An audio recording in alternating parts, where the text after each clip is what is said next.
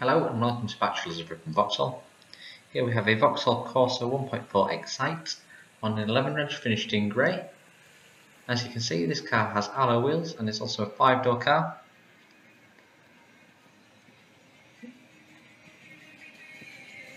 Inside the car's finished with a full grey interior and in the front we have a CD player with air conditioning and AUX in as well as on-wheel audio controls and front electric windows and electric mirrors. Here we have a Vauxhall Corsa for sale now at Batchelors of Ripon.